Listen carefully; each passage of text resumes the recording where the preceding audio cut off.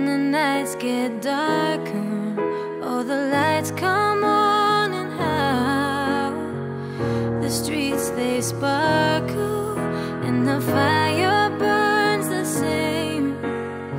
But Homelessness is at an all-time high in the UK, with numbers rising massively each year. Since 2010, homelessness figures have doubled. It is now estimated that there's 400,000 people sleeping homeless in the UK. That's near enough the population of Liverpool. And with figures looking to double again in the next 5 to 10 years, that means one out of every 80 will be homeless. Those numbers are terrifying. So I will be going homeless for seven days, and I will be doing it through Christmas, from the 19th of December to the 26th of December, and no one knows I'm going to do it except my friend Gordon, the cameraman, who will be coming to see me once a day to change the batteries on my camera and to have a daily update on my experience. I will have no phone, no money. Only thing I will have is the clothes on my back, a rucksack, my sleeping bag, and a camera. I've had to tell my friends and family that I'm going on a seven day health and fitness retreat where phones are not permitted, so there's no way we could have communication with each other. I'm going to find this really difficult, as this will be the first time on Christmas Day I not be with my kids. We are doing a documentary to give an insight on what a homeless person actually has to go through on a daily basis. And especially at Christmas, a time of love, happiness, and joy with your loved ones. But the only thing a homeless person will be waking up to is a cold pavement and the air in their lungs. We are hoping to raise as much awareness as possible, as no one wants to be homeless. But the way things are going, it can happen to any one of us. It is clear for everyone to see that the system we have isn't working and needs to change and change now. Nervous, the nerves are starting to hit home, so it is. Uh, get into the unknown, not knowing how, where I'm going to eat or sleep. Excited a wee bit as well, but nerves are starting to hit home, I'm starting to shake myself a bit. What do you think will be the hardest part? Um, to be honest, there's that many. Probably the food. Need my food. Um, obviously miss my family. There's that many. Being away for Christmas. But I just know it's uh, needs must. I need um, that people need to face reality and see what's actually going on. That's what I keep telling myself. Do you feel prepared? No. I tried to prepare myself last night, but I was overthinking it. Where I get my worst sleep last night. Couldn't sleep. Um, I'm trying to prepare myself mentally, but because you're going into the unknown, you can only prepare so much. You just need to go in raw and pray for the best. but I'm nervous, man. Nervous as fuck. Come on. So this is my GoPro. This is the only electronic device I'll have. Um, this will be what I'll be updating all my activities with, my daily experience. And Gordon will be coming every day to change the batteries and take the memory card out at a pre-arranged time every day. So every time he comes, he'll tell me what time he's wanting to meet me the next day. And that's the way we're going to do it basically. So this is it. So this is all the items that'll be coming with me. Jacket, um, rucksack to hold uh, camera in, gloves, sleeping bag, t-shirt, pair of socks, hat, tracky bottoms and tracky top, and a pair of trainers. That's it. That's all I've got. No money, no phone, um, just the clothes. And that's it. So what's really making you want to do this? Because of the the massive rise in homelessness, um, but we really triggered it when I was down in London uh, two weeks ago. Uh, I got talking to a homeless man who lost his wife and he'd been on the street for six years, lost his way, lost everything, lost his wife and then he lost his job, started drinking, just lost everything. This was a man who served in the army for 18 years, fighting for his country and uh, just hit home that people actually need to see what homeless people actually go through and, and it can happen to anybody so it's just to show people actually what's going on and because it's tough, I'd, I would imagine it'd be tough being homeless. He says he gets abused nearly every day, um, people treat him like shit and this is a man who basically fought for your country. So people just need to see him. I'm hoping this awakens people to get the help that we need to, to make the changes. This is it, all set, wallet, phone.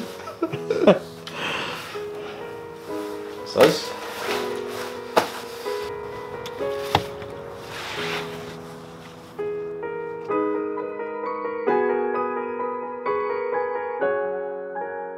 So this is us making our way out, heading into the town to get my first spot, make some money, try and get some food. Um, not that hungry right now anyway, so but no doubt later I'll be starving. So this is us. Game time. Does it hurt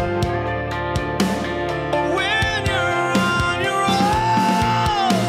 own? This is us just landed in the city centre. Um, just got about to find a spot where I can try and get some money and try and feed myself basically. We're just going in raw basically and taking it from there. That's the scary part.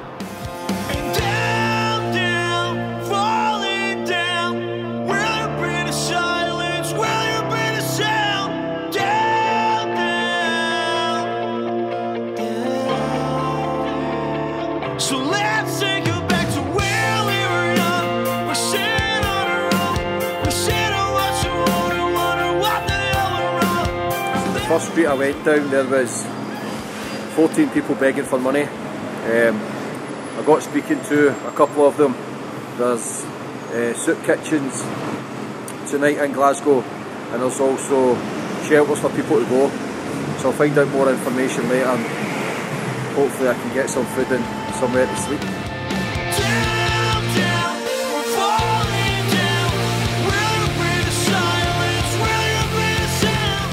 So that's me just walking along the homeless shelter. The last couple of hours I've just sat in McDonald's, try to get some heat. It's starting to get really cold. It's been a lot more difficult than I expected. Legs are starting to get sore. Um, doing nothing's pretty tiring. Starting to feel really tired. So hopefully get a bed to get some rest. As I'm walking through the town is looking in restaurants and envious a lot of people just sitting there having fun and having a meal. So I've just left the homeless shelter. Uh, I had a bed in it, but the place was filling up. And as soon as the place is full, anyone who comes for a bed gets turned away. So I decided to leave and free up my bed as I'm only doing this for seven days, and the last thing I wanted was to take a bed away from someone who most needs it. So that's where I'll be tonight, just outside the chapel. Um, it's freezing. So time to get to bed, get some shut eye, because I'm shattered now. Welcome to the Four Seasons. Can't sleep. Every little bit of noise, I'm waking up cars, buses, taxis, bin men. Um, struggling to, sleep. It's cold as well. Every time I shut my eyes, I feel as if someone's standing over me. If this is the first night, fuck knows how I'm going to get through the seven.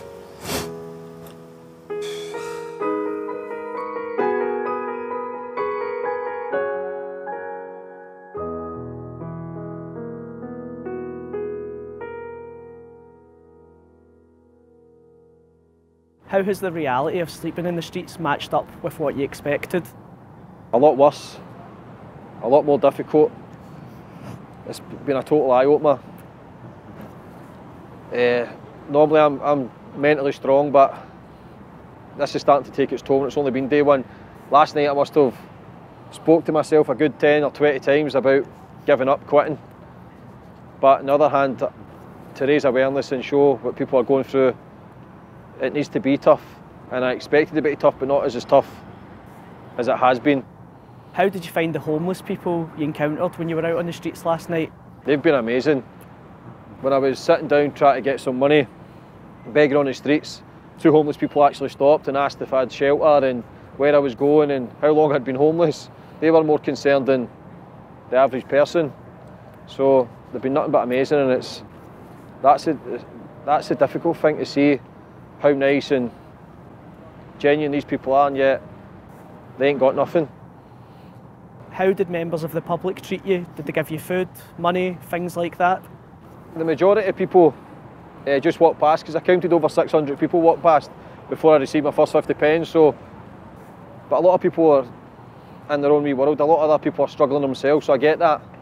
Um, but I spoke to a beautiful uh, girl, Lisa, took the time to speak to me, asked her did I want anything from my shop, and she just looked concerned, and it, it was heartwarming, and I, I appreciated that because that kind of helped me through the day. Just that two-minute chat. So for people who may be scared or intimidated to approach someone homeless, even just two minutes of your time can change their whole day, and it makes a difference. Everything I made yesterday was about 350. Um, I tried to ration that out as much as possible. I sat there for a good five hours, and today I've been on the street for three hours and made one pound uh, 32. That's what I've got for today. Won't last too long this time. Switching on big machine next week. And until then, I keep you on a shoestring. You got anything you don't want to keep?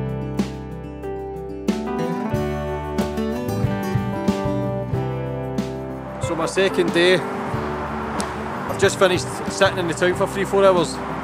But today was better than yesterday. I made over seven pounds. Town was a bit busier. So I'm just about to go and get some food.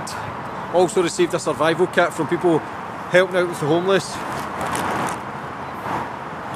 Uh, toiletries in it, hat, gloves, blanket, some deodorants, biscuits, and toothbrush and toothpaste. So I'm just about to get into the library for a much needed wash.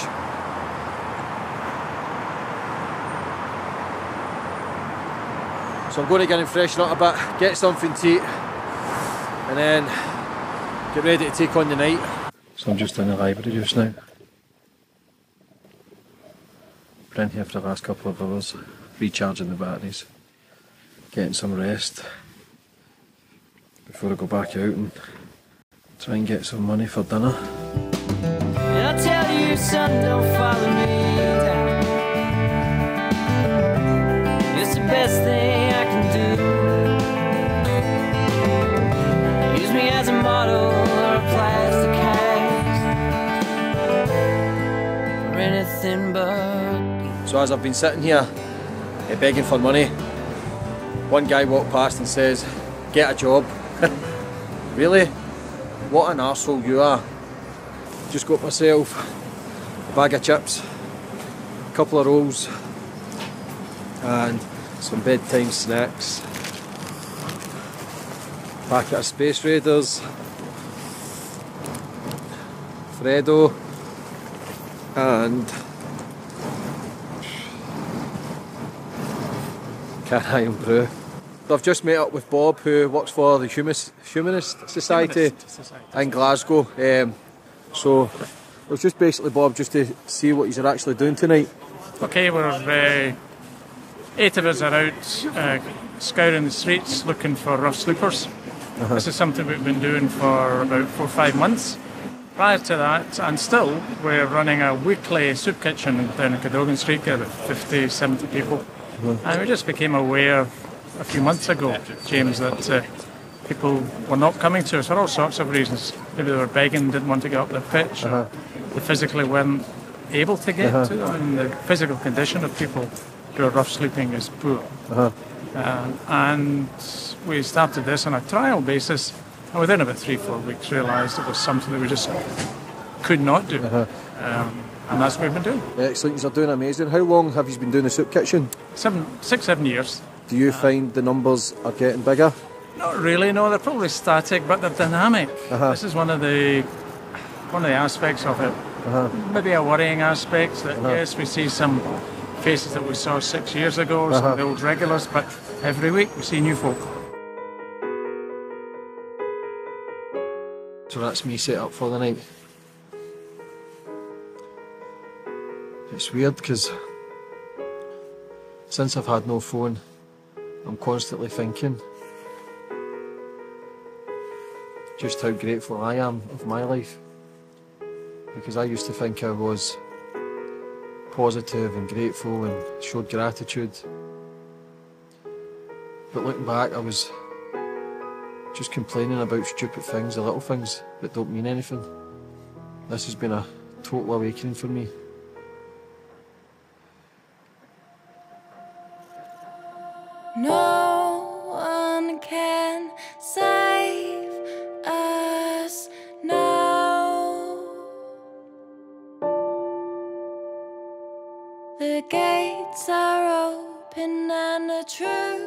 James, how did you get on last night? Last night I was a wee bit more relaxed. Um, still finding myself embarrassed when I'm speaking to homeless people and getting their information and just having a, a normal chat with them. I'm kind of embarrassed to try and video them or I'm even embarrassed to get take money from people. I don't know why, but I need to eat. But I'm finding it, I'm finding it difficult. But last night wasn't as bad. Um, slept a bit better. Still a lot of tossing and turning, but um, the more I'm doing it, the more I'm adapting. But I don't know if that's a good thing or a bad thing. How do you think homeless people are going to react when you tell them what it is that you're actually doing? I don't know, some probably think I'm crazy, but I'm still scared to take the camera out and ask them questions. I just think they're going through enough than having a camera put in their face. But to raise awareness, I feel that it needs to be done why, why they're in these situations. And then I spoke to a man called Stuart, 27 I think, battles with drug addiction. He's been on and off the street for the last 10 years. Clearly got some sort of problems, but he was saying that drug dealers approach him at least 20 times a day. What's your plans for today then? Just going to go and find a spot, sit down and get some money for food. Not eating today, no money left, so uh, try and get some money and get some, some, some on food. And then tonight I've got the soup kitchen. So I've got along there and speak to the humanists and just have a, have a chat with everyone. How have you been dealing with the boredom? What have you been doing to pass the time? tough because it's diffi- difficult without like no phone. I've got a lot of time to think. I was in the bookies a day as well before yours came. Uh, that opens at eight for a heat and uh, a cup of tea. But I'm, in the past I've been a, a compulsive gambler, so that's the first time I've been in a bookies in a very long time.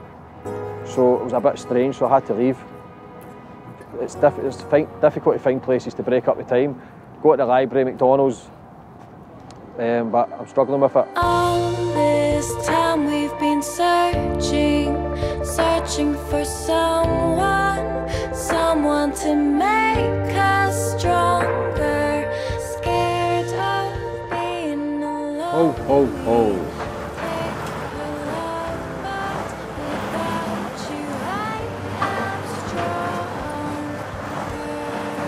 So this is where I've been sitting most days. So today I've sat for about three hours.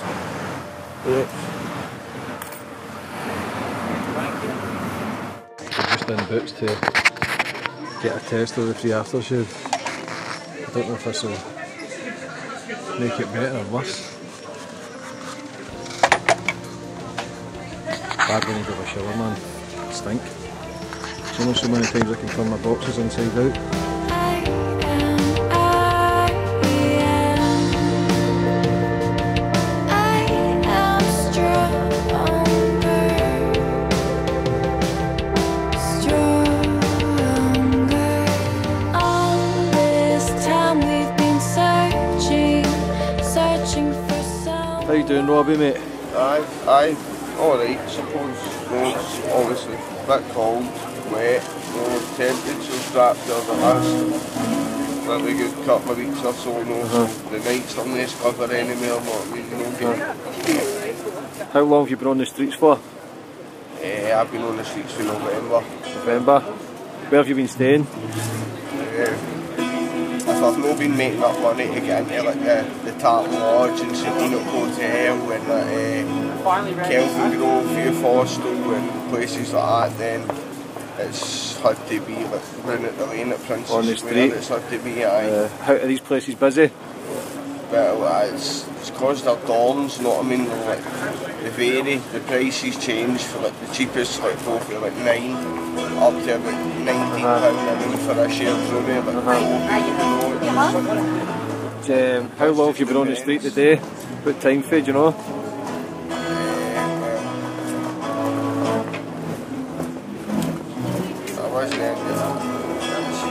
It's, it's going on about two days now. Fuck's sake, man.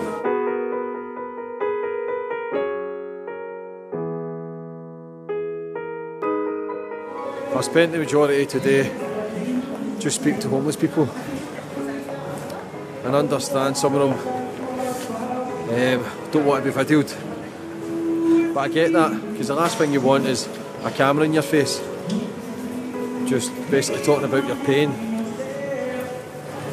But it's just sad to see and hear some of the things, the abuse they get, people peeing on them, kicking them, spitting on them.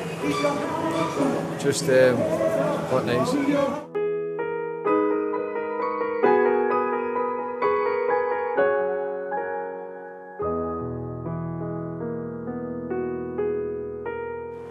So I've just sat in the town, a busier bit, for about two or three hours. I don't roughly know the time because I don't have a watch, so I need to keep asking people the time.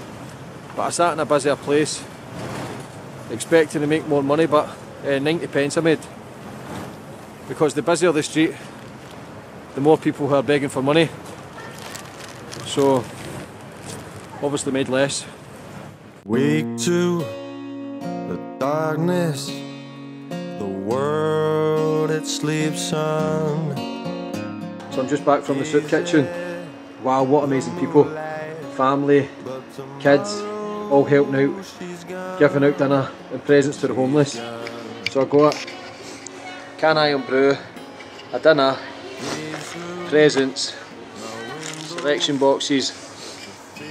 Amazing people. We need more people like this in the world. So I'm just with Mel who's running the soup kitchen called H40H, Yes. Help for the Homeless. So how long have you been doing this Mel? Three years, Why are you doing it? because there's a need. Yes. Um, It's required, and we all love doing it. And it's good fun. who funds this?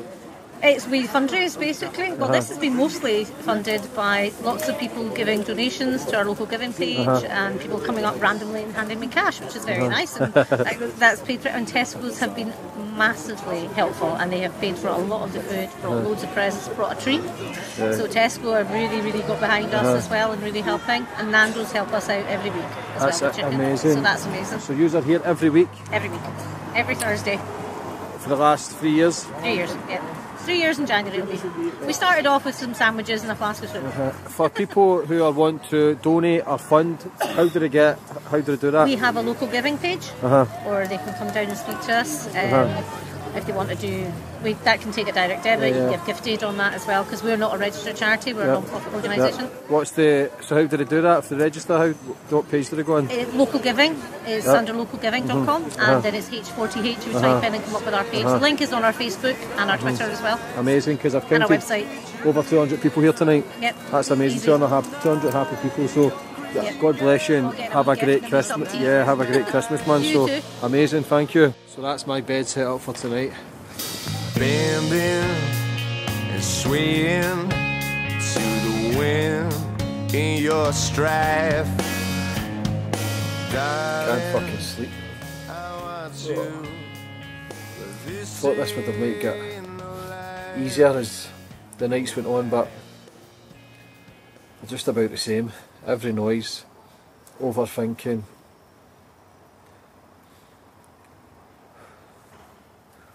Homeless people are so brave to to do this kind of thing every night because it's mental torture. Uh, I don't. I feel as if I'm constantly fucking complaining, but my back's sore, arse is sore, legs are sore, my jaw's sore. I'm just. Uh, I don't even know what time it is. Uh, good morning, world. Uh, last night was a another restless night. I got woken up uh, by two police officers, and no word of a lie, thought it was two fucking aliens. All I seen was two big green jackets and a bright light shining in my face, and it was pretty misty last night. Shut myself. But to be fair, uh, they were really nice. Seeing if I was okay, telling me what places I could go to find a sleep and just tell me to be careful in the town because there's a lot of drunks. Uh, and I know this is disgusting, but last night I had to uh, do the toilet down a lane. But I did it in a bag. Don't realise how difficult it is to balance and hold a bag at the same time while keeping a, a lookout for people. oh. So just where I've been sleeping, I've just found a, a needle.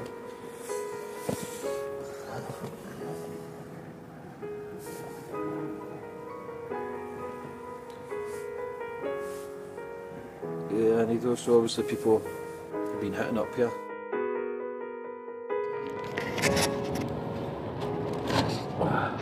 That's the boy who, when I was at the shelter, the first night in the shelter, offered me money. James is a cocaine addict and a alcoholic. Such a nice person though. Fucking heartbreaking to see.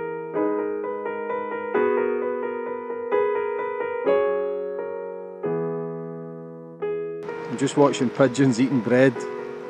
It's amazing.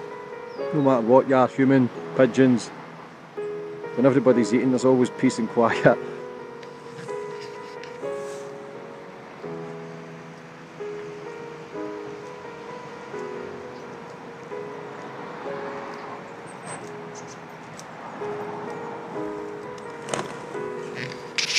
Stuff for it. Crazy for it. That's what you do when you're bored shitless. Talk to yourself and speak to pigeons.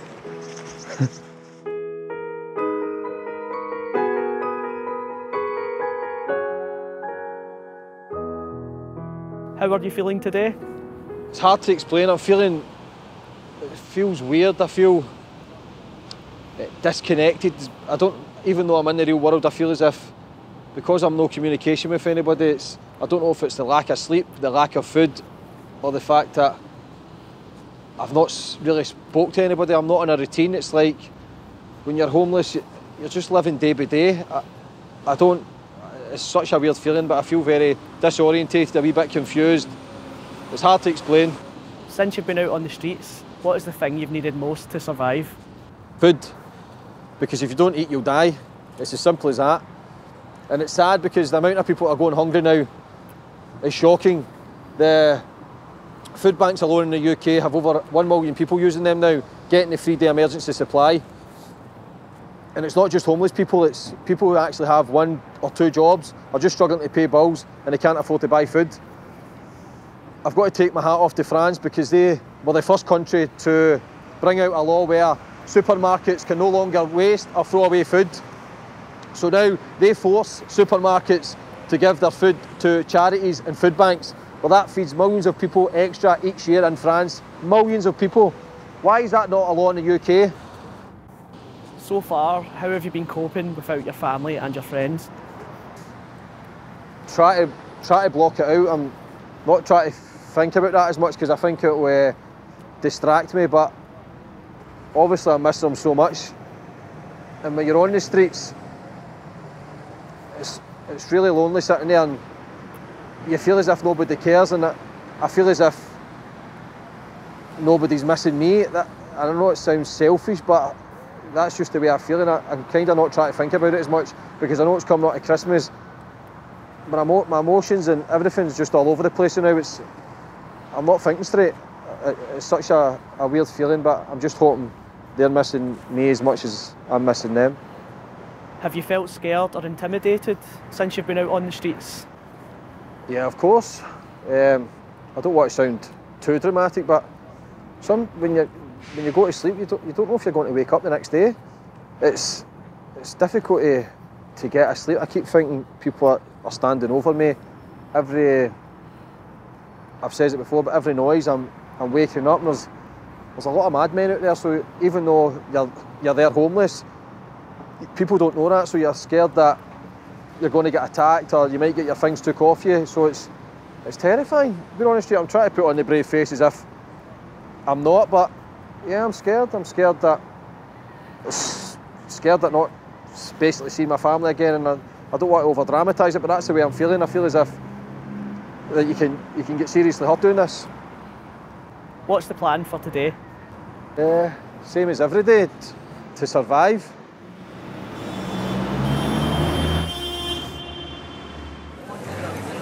So it's the Friday before Christmas. This is the busy this town has been, so it's mobbed.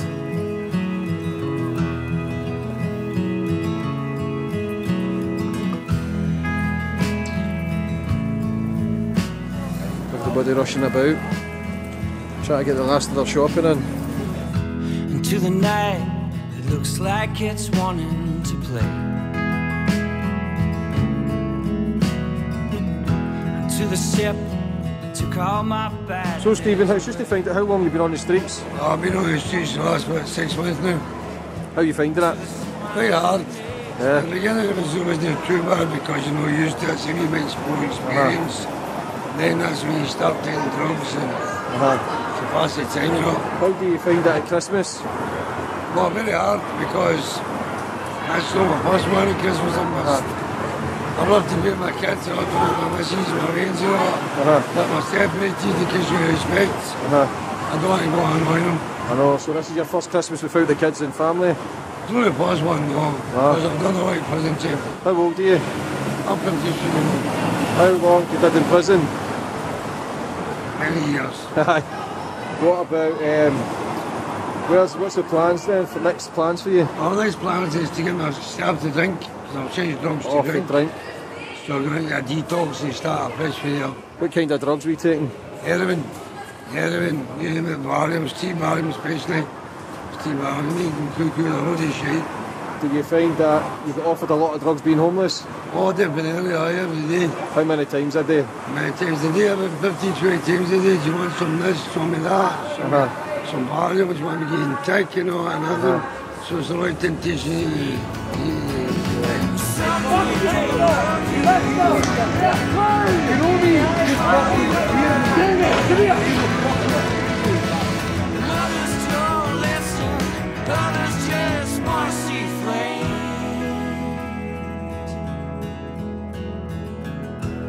So I've just left the city mission. This place has been running over 100 years helping homeless people. Uh, so just had something to eat. Got a Christmas present. Just people from all walks of life. Everyone with different stories. Again, speaking with people who, who have two jobs, just can't afford to pay for food. It amazes me that worldwide we, we waste one third of food for human consumption. One third but yet we have nearly one billion people starving. It's crazy. Just to ask you how long you've been homeless. Uh, this time I've been homeless a couple of weeks uh, and six, seven months. Uh-huh. Uh, goodness, Seven and then months. before that it was two years or so months. Uh, how do you, if you get family or friends? I've got family, I don't speak to them because my brother's what you call a beast, Uh-huh. and they speak to him. Uh-huh. So I don't speak to him, but all our friends is each other. What, but, um, We'll get to each uh-huh. How do you think being on the on the streets at Christmas? Shit. Yeah. Sorry for the language. That's but fine. It's, it's supposed to be a time of goodwill and good cheer and people coming together. can I tell you one statement? I will. One, one statement, right? See, one out of ten people are good. Yeah. There is goodness out there. What's the next step for you? What's the plans? The next step would you think Uh, would be? Well, after, after plan Christmas, here, the plan. That there's Keep an making help me. here. Start LGBT. Uh-huh. Uh, I'm trans. So they've got a, a legal obligation to help me, but they've not got a legal obligation to help my big here. Have you been getting help? Some trying to help. Some. It's not enough. Uh-huh. Have you been? Do you get abused or anything on the streets? Oh, aye, I've been attacked. I don't know if you can see it, but see the scars here Uh huh. and down here and a bit off my nose. That was uh, attacked last year, July last year. For no reason. Down Hope Street for being trans and Right. What happened to you? And I got bottled. The bottle got smashed in my face and I got ribs broken, etc. For what? For being both trans and homeless. So I've just left uh, Stu and Cass, who I was just speaking to there. Uh, Cass, very intelligent man. His friend Stu, if I'm honest, is away with the fairies just now. But Cass doesn't want to leave him because the two of them are best friends.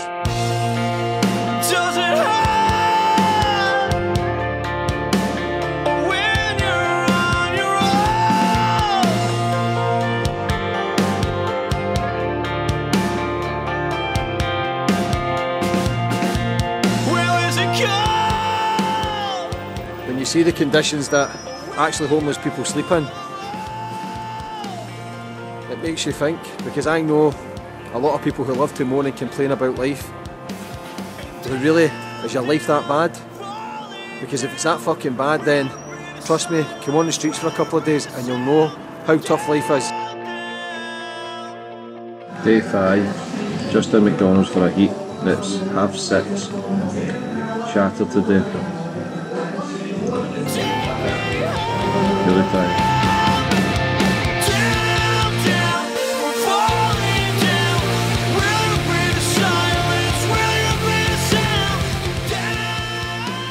How are you feeling today?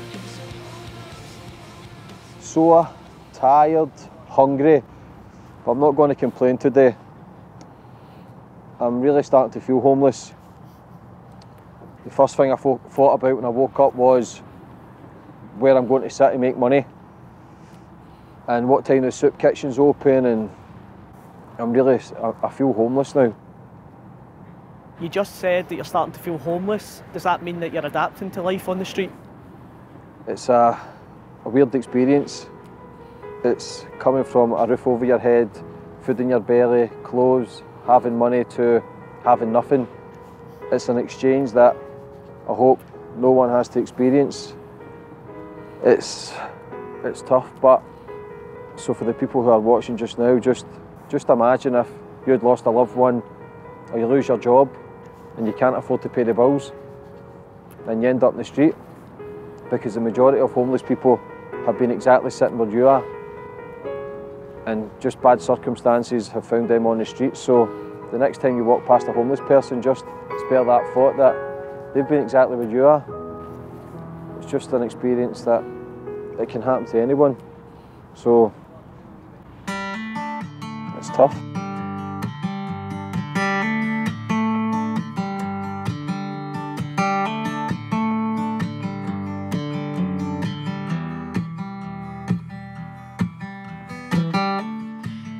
With the amount of homeless people I've spoke to, the majority of them, when they first became homeless, weren't addicted to drink or drugs. It's because the fact that they got offered it so much, they ended up on it. But I can kind of see why they're on drinking drugs. Because when you're on the streets, there's fuck all else to do. It's a lonely, lonely place, and when people don't seem to care or you don't feel part of the the population, it's a, you're very isolated. Even though we're in the real world, it feels it doesn't really feel if you're in it, if you know what I mean. So I can see why people can slip into bad habits like drinking drugs to numb their pain and to hide for the fact that they're homeless and they haven't got nothing. Maybe it's a blessing. Maybe there's a time we've gotten tired. Tired of all the shit we've caused. What's your name? Dean Johnson. And what's your dog's name? Kish. How long have you been homeless for? Seven weeks now. How are you finding it? It's rough in Glasgow, aye. And sometimes you can get alright. The other days it's bad. What about, uh, have you experienced any violence? Quite a few times, yeah. What, what kind of stuff happened? Only people spitting on you, go at the places, trying to keep you sleeping, waking you up, trying to attack you in your sleep. It's just all that kind of stuff. For no reason? Good. For no reason, yeah. Just homelessness. Where are you going to be for Christmas? I'm not sure yet. Not sure yet. Have you got family? Yeah, but I really want to put them through this predicament for Christmas. What about your dog? Do you get offered shelter? Uh, or... So you, you need to sleep out. You need to sleep outside with the dog because the shelter. There's shelter, obviously, and cheap for the dogs. So that's how it goes. Always end up with the dogs. You can't because the dogs are sick. How old's your dog? A year and six months. Is any way you can get accommodation or help? Or... Best I get for up, but I'm going to get my. She's like a human being, she's just like a human being. She's one of us. It's like you can't just throw yourself out the thing, but your dog's your human body. Uh, what about um, how many hours a day do you sit out? Five to six hours a day, usually. Thank you very much, have a nice day. Um, Five, six hours a day, usually. They just, I just eat so we have attention, we've got food. But at night, so we've got something to eat when we go back to our swits to sleep. That's it. That's worries, all we do, just get our food and then that's it's to be. So just back from begging on the street there. A lot busier today. Last Saturday before Christmas, made £14 in about three hours. So just going to have something to eat, rest for a couple of hours, and then go to our soup kitchen tonight.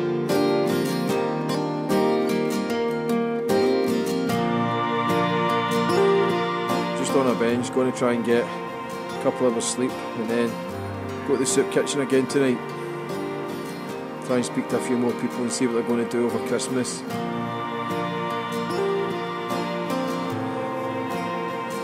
Been lucky with the weather. Usually it's pissing down in Glasgow every night, but only it's only been raining once or twice.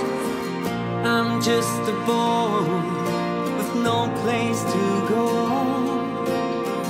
I'm on my own. I've lost my soul. Step out my mind. This wee camera. Every time I speak into it, I feel as if I'm on the Blair Witch Project.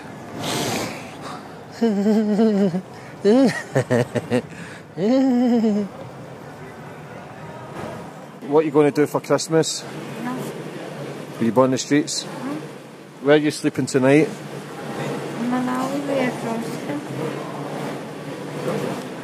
Um, there's no one trying to help you.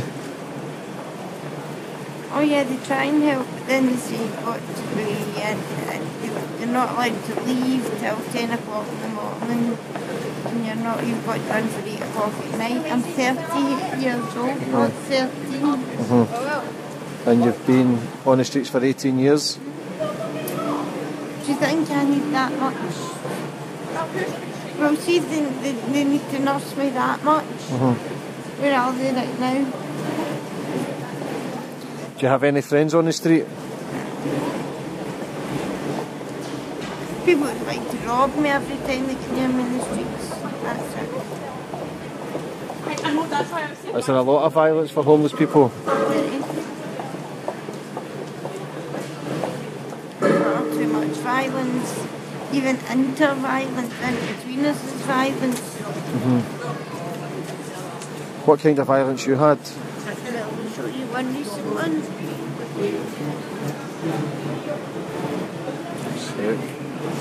And that was, um, that's just a part, I'm not showing you the body parts, that was the female part, she grabbed me by the ear, just actually round the corner there.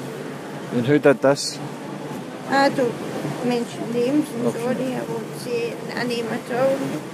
Mm-hmm. Um, Doesn't matter name now anyway.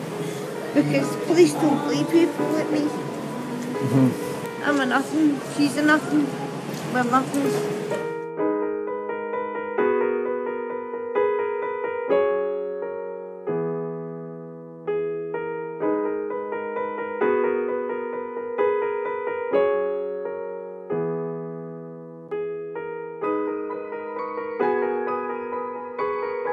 Now, in today's society, in the Western world, um, trying to take Christ out of Christmas.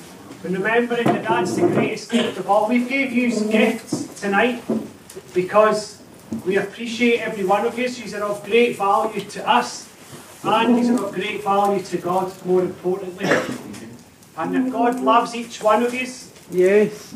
He loves you that much that He gave His Son. And that if when, if when we get to understand God fully, that He came to earth Himself in human form to show us how to live, but ultimately to pay the price for our sin.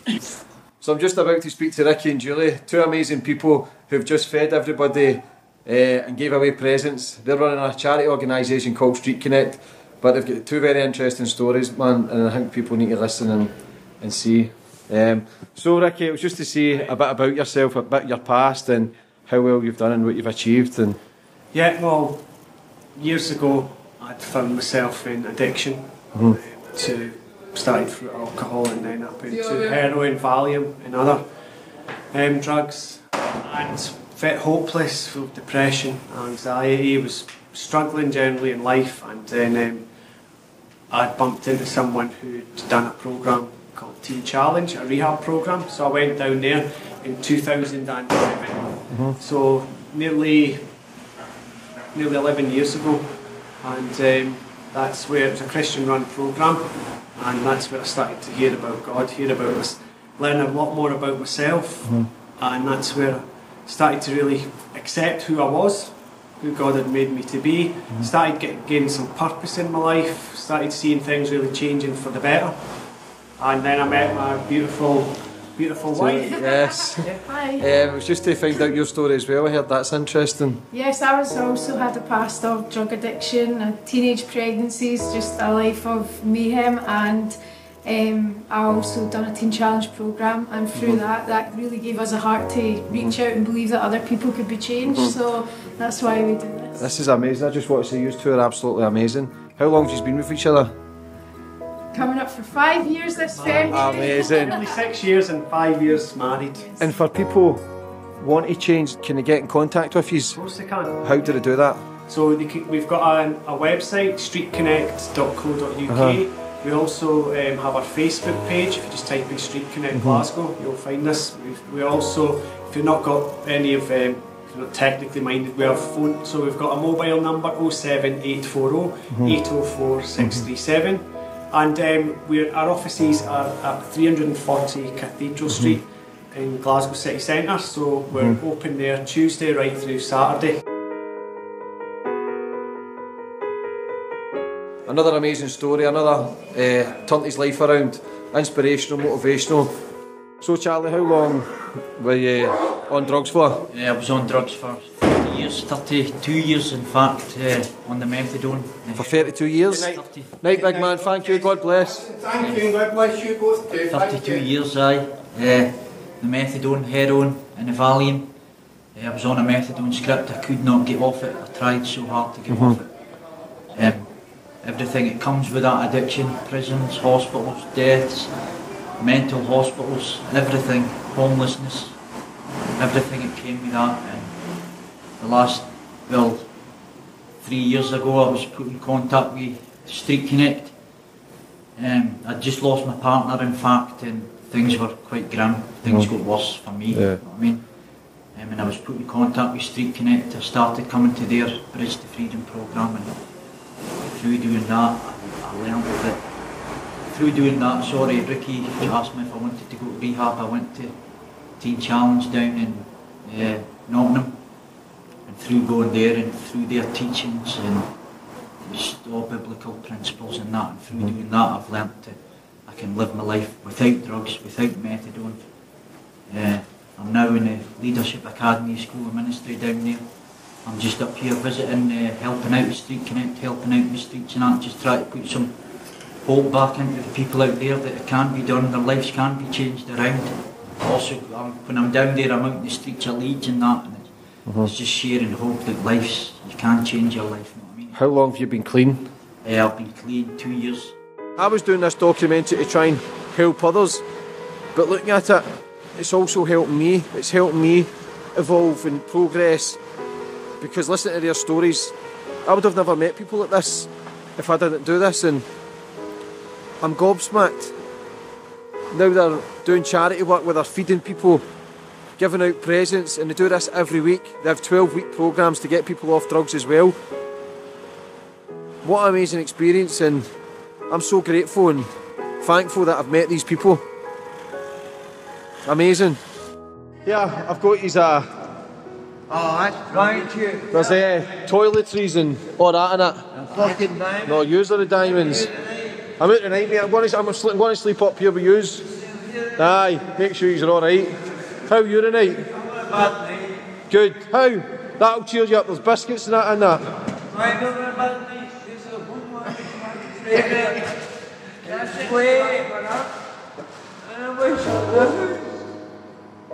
Don't worry about it. We'll, go, we'll go and sort everything out. I don't need to do that. Are. I really don't. It's so hard. It's so nice.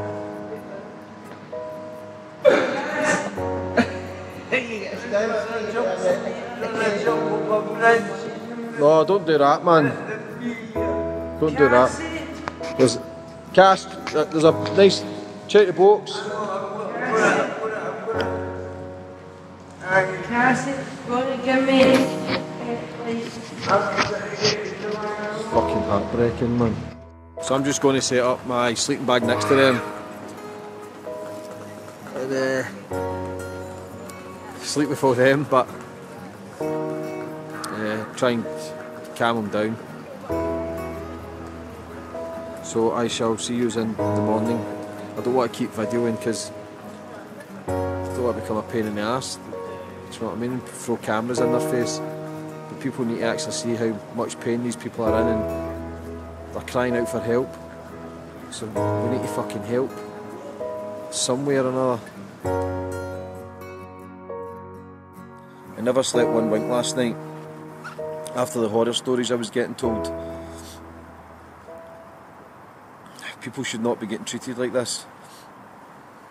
It's so sad. So I'm going to do everything in my power to help these people.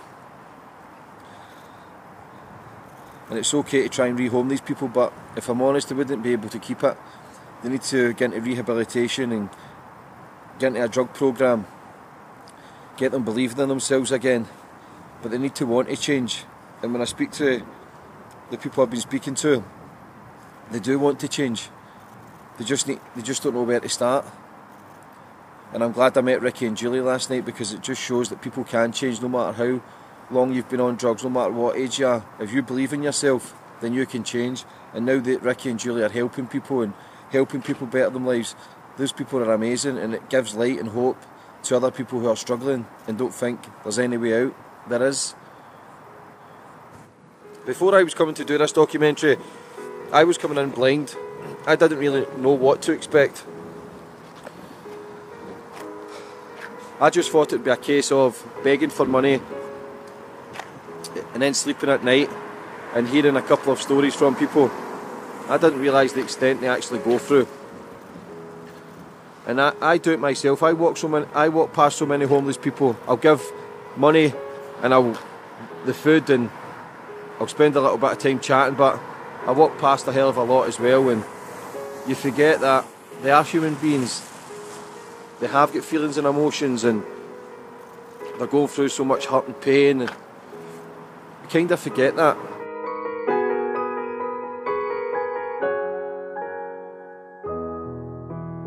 So it's just to ask you how long you- you've been on the streets. 23 years, roughly. Yeah. In Glasgow. 25 years. And I still haven't had the giro. What's the plans for Christmas? Don't tell me I've missed Easter. and all the Halloween. Have you ever encountered any violence or abuse? Been on the streets? I see it every day, son. I see it every day. As long as I wake up with an head on my shoulders in the morning, I'm alright. Look at me and I forget to Time stands still as you walk closer to me. Your whispered words. Back to work. Christmas Eve. All the other voices disappear. Now we're on the edge. It's funny because every shop I go into, security guards are always following me about. But I get that, they're doing their job. A wee bit suspicious, and if you look rough, then they will follow you. And there's some days, if you're begging for money, I'd imagine not being Christmas, January, the quiet time of the month, the homeless people won't, won't make money. So if I wasn't making money and I was hungry, I would begin stealing food. It's survival mode. I've been homeless for the 7th of March, 17. I went in the homeless in Torso. He says uh, I've no connection to Glasgow, can't take me on. I've been to the Hamish Allan Centre, can't take me on because they can't connect to Glasgow. How do you feel being homeless for Christmas? Sick. If you get family, The state council. uh, have you been sleeping on the streets? All.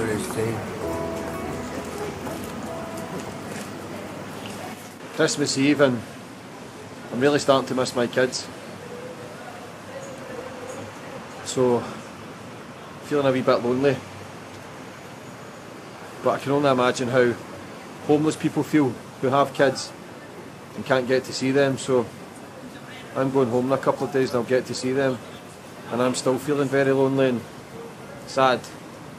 So, I can only imagine how homeless people feel. They, they came up and asked me to buy them booze and that, tell them no. Another guy went over, another guy close to me, about six yards. He went and bought them booze, but he bumped them.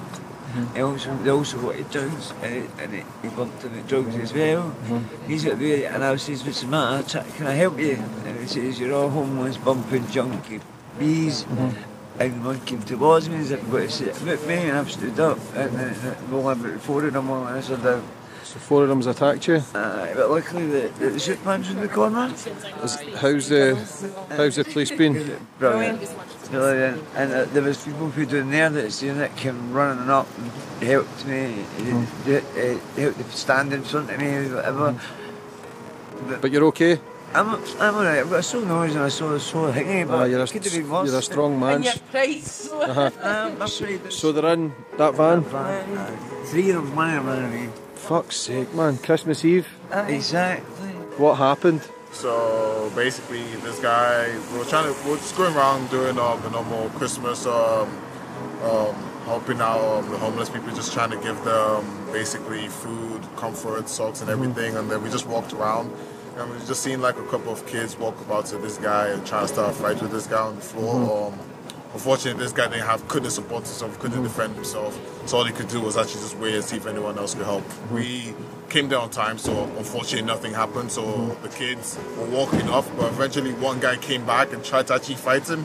So he just stood in front of him and said, "Oh, you can't touch him. You can't do anything." And then they then walked off. And I think that's when they then met over with her. So that's basically why. Because they said you, you protected them from getting beat up. Um, was the police okay? The police okay? Yeah, fine. Mhm. Yeah, they didn't Yeah, because it says, man, I just want to say thank you and, and well done. Um, God bless, have a good Christmas. Uh, you too, Mark. So as I've just walked round the corner, um, Cass and his girlfriend Michelle had just been attacked off four young boys Christmas Eve for no reason. Um, this is the kind of stuff they need to go through every night. Fucking shocking. So I'm just with Daniel from Second Chance Scotland who's running the, the charity for the the homeless tonight. So Daniel, how many how long has you been doing this? Since halfway through August. How do you find that? Uh, good. I find it rewarding. A lot of numbers, homeless wise. Here you can do up to 100 on the streets.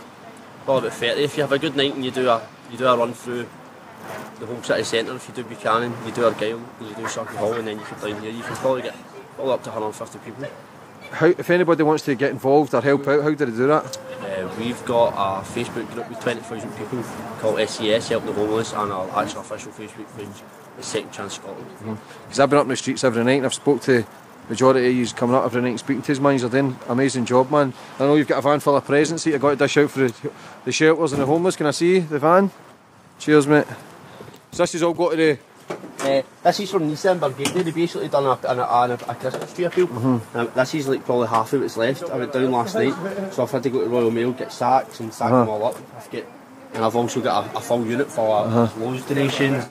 So just behind me is Second Chance Scotland charity. Another group of amazing people. Just fed everyone there. Vans full of sandwiches and toys.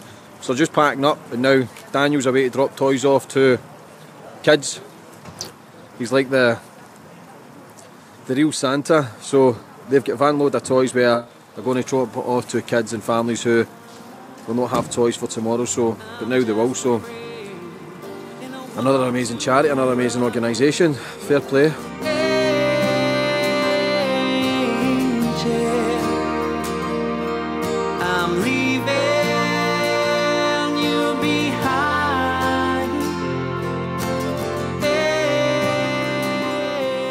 How does it feel to be out here on Christmas Eve, knowing that you're going to spend Christmas without your family? You know what? Me and my family are going to have many Christmases together. I'm going to go home in a couple of days and then I go back to my life. These people are still here.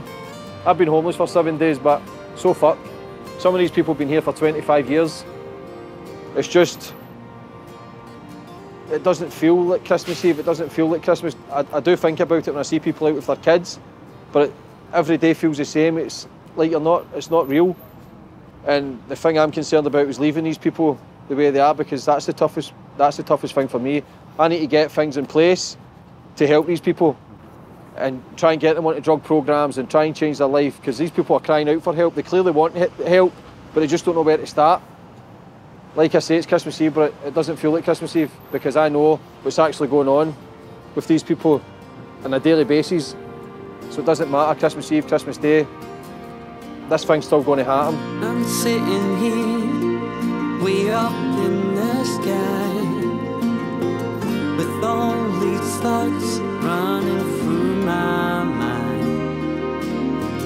As tears are falling down my face, I find my So Gordon's just left. It's Christmas Eve. It's about 11 o'clock at night. Place is dead. No one about, just a few people probably finishing up from work.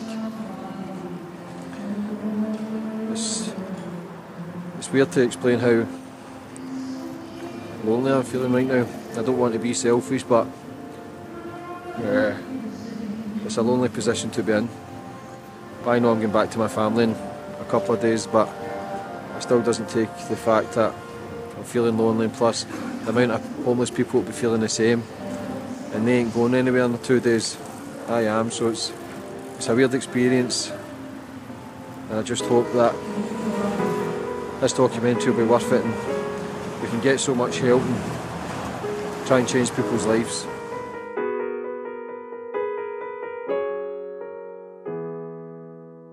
Merry Christmas, everyone.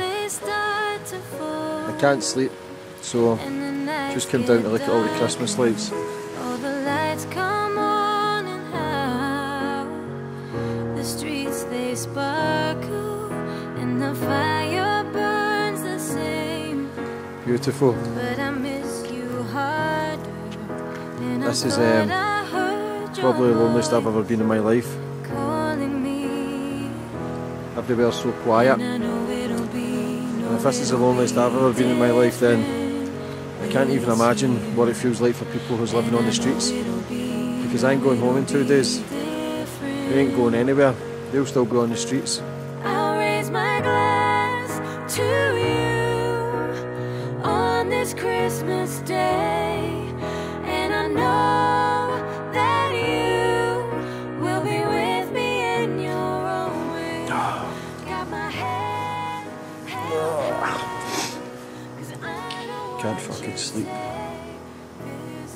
It's Christmas though. I am missing my kids and waking up, giving them their presents and missing the food. What would do nice for what would do now for a nice warm dinner?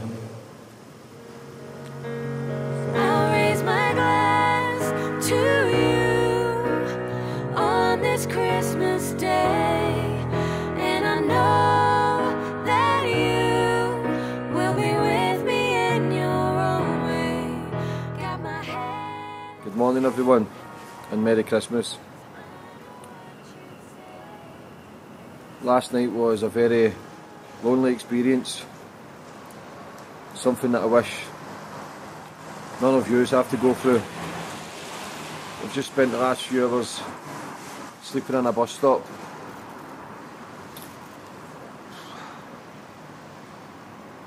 This is not the way Christmas Day should be spent. Had to do the toilet outside again, as everywhere is closed.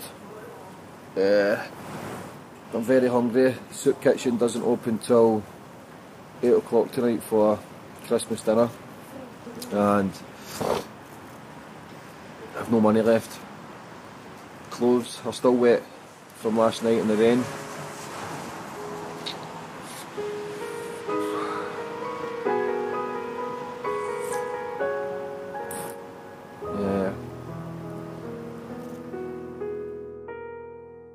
Merry Christmas, mate. Aye, Merry Christmas. Um, it was just to find out how long you've been homeless. Eh, I've only been homeless for what? Ten weeks or something. hmm How you finding it? Eh, not too bad. I usually spend times in the in the night shelters and that. Uh-huh. So I do. They're better on the street, you know what I mean? The only reason, the only reason I stayed, well, I didn't stay here, I slept in there last night because I've been arguing with my brother. My brother's for my Christmas, we ended up arguing. How do you find it being on the streets on Christmas Day? Not very good, is it? No. Um, have you suffered any kind of violence or abuse yet at the last 10 weeks? Eh, aye, aye, I've been in a few fights, aye. A few fights, a few ODs, and I've been hooked in my motor. Yeah, he says you were in the hospital. Aye, I lost my spine. Were you in the army, you were saying? Aye, when I was a young boy. For how long? About four years something. hmm So I'm just at the homeless shelter where they'll be doing Christmas dinner at 12 o'clock. Have to take my hat off to these people. Not only the fact that they're helping vulnerable people and homeless people and the fact that they're working on Christmas Day, helping to feed people and give them warmth. Massive respect has to go to these people. Because if it wasn't for them, then what else are you going to do? Can you imagine waking up on Christmas Day with nothing? Absolutely nothing. Waking up on a cold pavement. But I know the majority of you will be spending time with family and friends and opening gifts and laughing. Probably some families, you know what you like, probably fighting as well. But I would rather have all that than waking up lonely.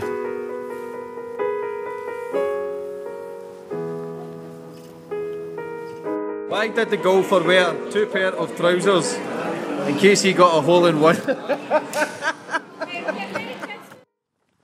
so just left the shelter after getting Christmas dinner. Again, I can't thank these people enough. Over 200 people they're feeding for Christmas. It's, uh, this shelter's open 365 days a year. And it's people like this that make you realise there's a lot of goodness goes on in the world. Some of the footage you got yesterday was really hard to watch. Obviously, a lot of people with, with drug problems. Um, how, how is that mentally affecting yourself? Big time. It's uh, because these people became my friends, and it's they've kind of looked after me and telling people that I'm their friend, so no one would bother me. And it, and now that I know the extent, because if I came in this documentary blinded, I didn't realise the extent of actually what goes on and the problems these people have. But by speaking to them, they're crying out for help. They need help, and once this documentary's over, I'm going to do everything in my power to get the steps for them to better their life and change their life.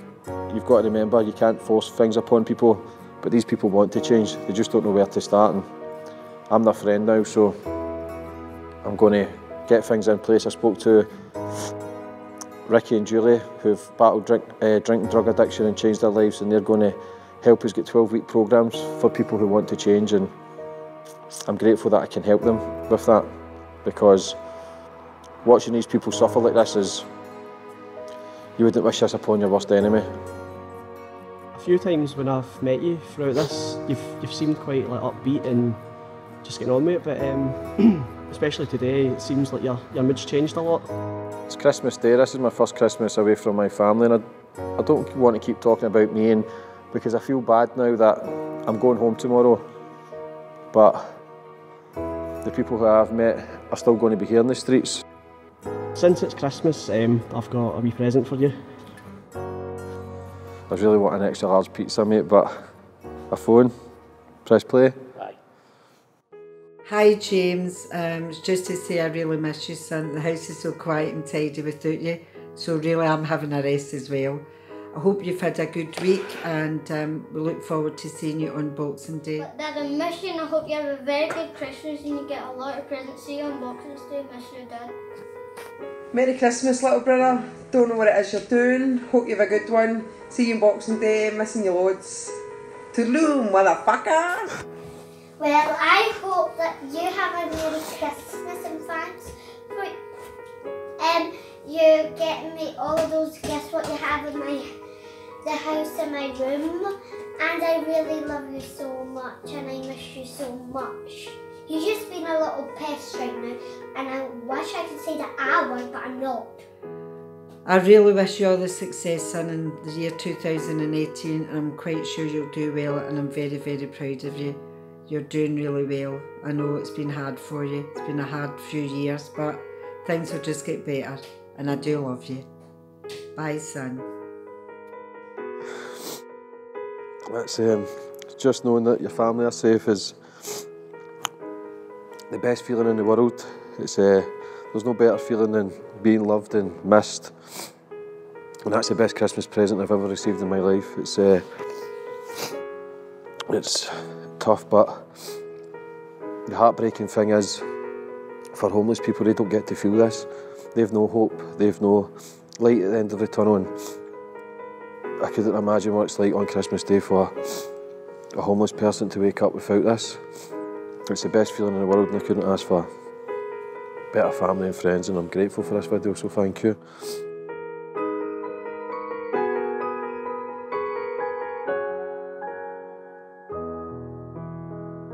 So just left Gordon.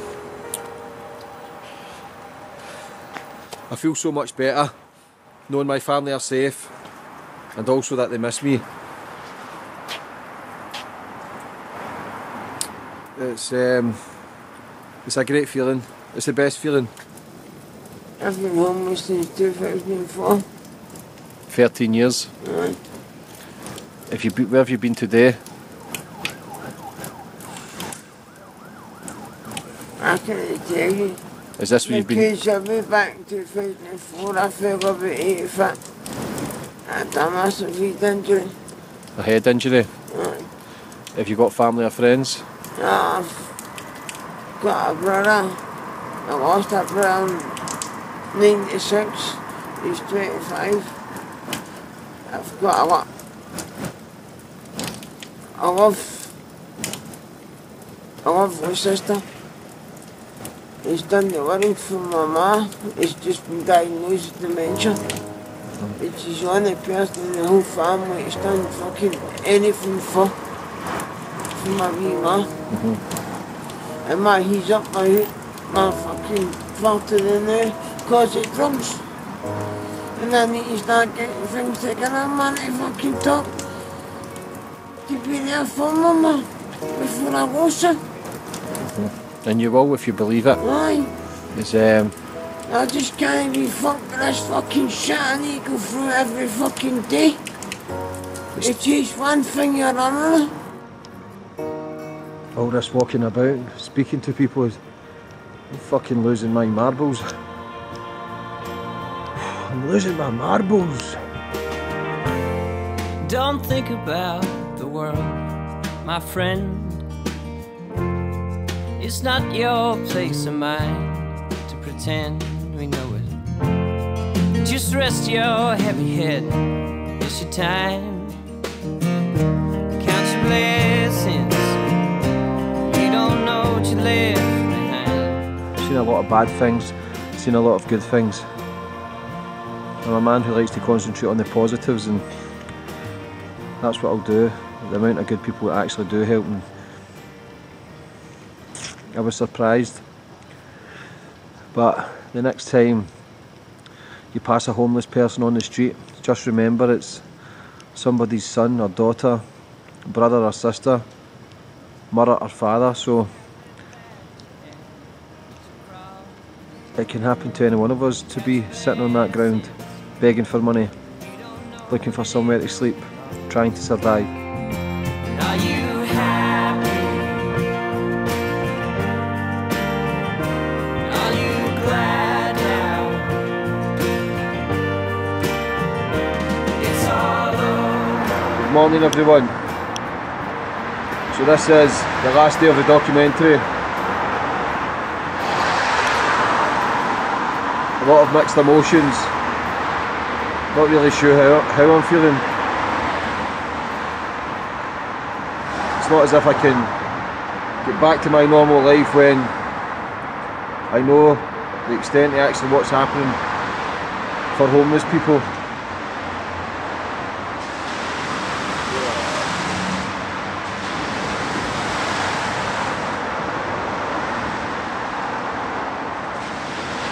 Very cold last night, snowing, slept under a bridge.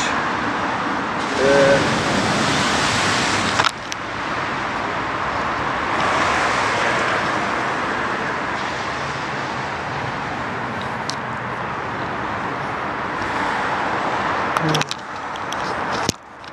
a lot of noise here last night, but I wasn't caring. We just wanted somewhere to rest. So I'm going to get up, get washed, and then going to see my family. Ah. As the leaves they start to fall and the nights get darker,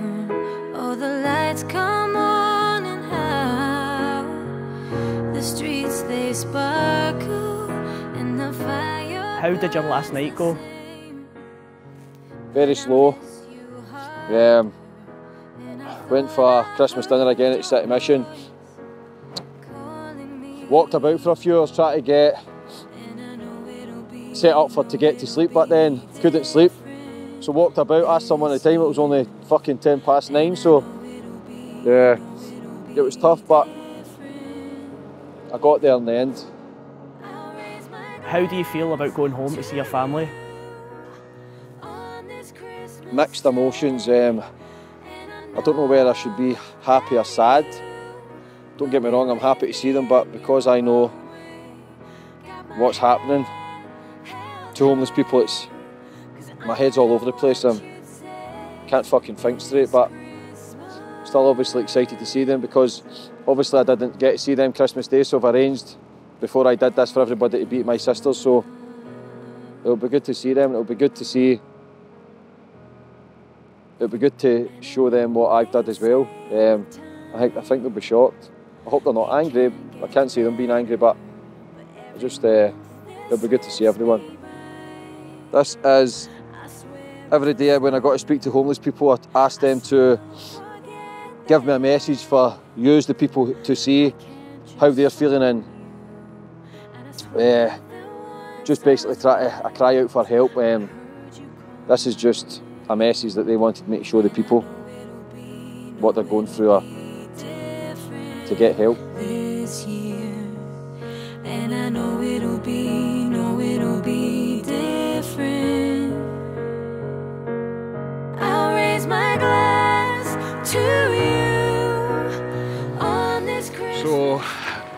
Gordon's just dropped me off. He's away round to see my family, give them an update of what I've actually been doing.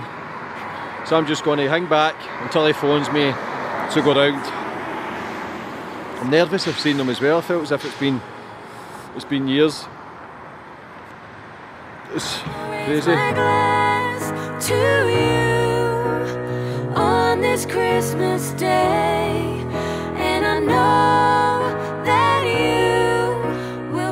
Merry Christmas, everyone. I'm so sorry I couldn't be spending Christmas Day with you, but I'm sure we'll have many more together. I have another apology. For the last seven days, I haven't been on a fitness retreat. For the last seven days, me and Gordon have been working on a documentary on the growing problem we have on homelessness. While doing this documentary, not only have I realised that how much homeless people actually need our help, but it's also made me realise how lucky I am to have family and friends like you. I couldn't ask for better people to be surrounded with, and I love yous very much. I just want you to know I received your video, and it, it's the best present I have ever received. I miss yous all, and I can't wait to see yous. Jessica, James, Carter, don't tell anyone, but I wasn't there because I'm actually Santa Claus. So, Merry Christmas, and see yous all soon. Love yous very much.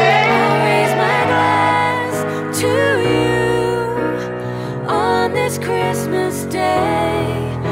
And I know that you will be with me in your own way. Got my head held high, cause I know what you'd say this Christmas.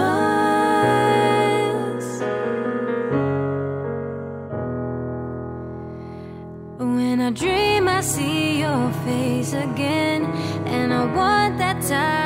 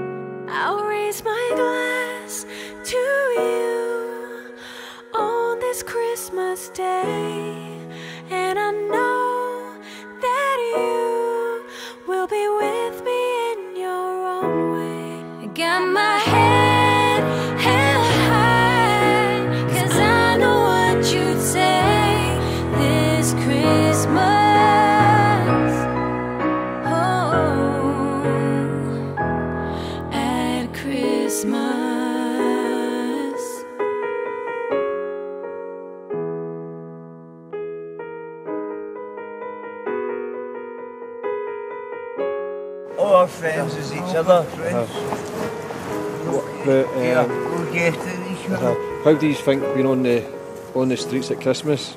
Shit. Yeah. Sorry for the language. That's fine. It's, it's supposed to be a time of goodwill and good cheer and people coming together. Can I tell you one thing? I'm all one, one statement, right? See, one out of ten people are good. There is goodness out there.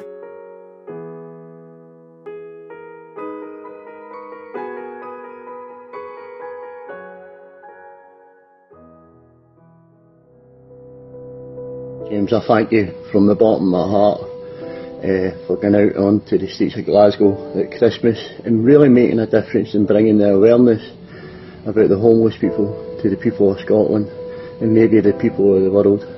I just thank you for that and, and I just I keep up the good work.